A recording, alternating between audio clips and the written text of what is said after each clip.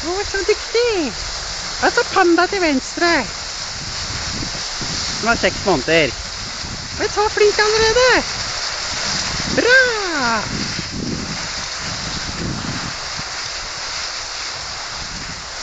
Bra! Dyktig!